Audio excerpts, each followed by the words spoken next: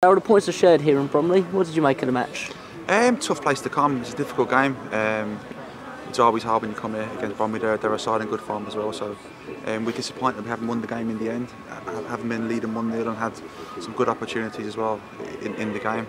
And disappointed with the way we conceded the goal. I felt that. Um, although they clashed heads, we had the ball, so we felt it was back into our control. The ball should have come. The ref gave it to them for whatever reason. And uh, listen, we've got to defend it better. Without a doubt, we have to do that. But the initial bit, we had the ball, so I'm disappointed with the referee with that. For so long, we were ahead in the game. To be honest, El hasn't really made a save, has he? No. Are you a little, little bit disappointed to come away with, uh, with just the one point tonight? Yeah, I am. Of course I am. Like I just said there, I think we, we, we were probably worth it, really. Another last 10 minutes, they still got on us a little bit and, and they moved the ball well. And they've got good players.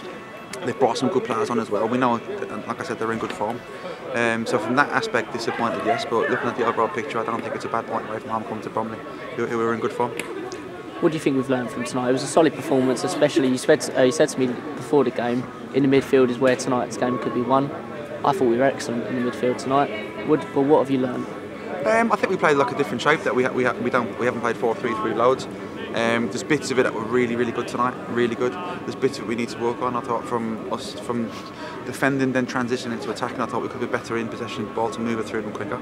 Um, but that's a little bit I've got to work on with the team now Tuesday and Friday to, to, to make the better of that. But their, their effort, their endeavour, their work ethic, the team have been terrific again tonight in terms of that. Um, and we've def- it's definitely something for us to build on. You mentioned the uh, change of system there. How come you made that switch for tonight's game? We just felt they've got so many players in the middle of the pitch that we wanted to really load it up in there. Um, their fullbacks join in well as well. I think um, Bez and Fisher are good at that joining in from them areas. So we wanted to have Westy and, and June to try and stop that and to counteract that on the other way in 1v1 situations. Um, and obviously Josh then, as we were hoping, had the freedom to get on the sides of him. Josh got in a couple of times tonight and um, unlucky not to score a couple of times. We're so used to seeing our forward boys get the goals, but Josh Hare popped up with one today. I think he's had a very good season so far. It was a great cross slash shot, wasn't it? Yeah, it's that it's that that if you, you aim towards that back post and hopefully every miss that goes in, and it was it was a great delivery. And Josh has got that. I, I totally agree with you as well. I think Josh has been outstanding this season. He's a player that probably can go unnoticed because he's very very low maintenance, but he does his job every week. He's really reliable. Probably same as Sam Ling on the other side, a player who you know that you know what they're going to do for, uh, on Saturdays and Tuesdays.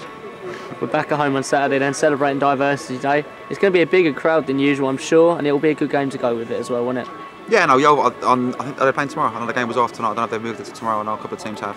They've um, they've really picked up on the Mark Cooper, who's gone in there and, and changed around. Um, we'll have a good look at them tomorrow on Thursday in, in preparation for Saturday. But hopefully we get a good crowd. Obviously, it's our diversity day, so hopefully we get as many people in as we can. It's a great cause and a great thing the club do, um, and hopefully we can get win.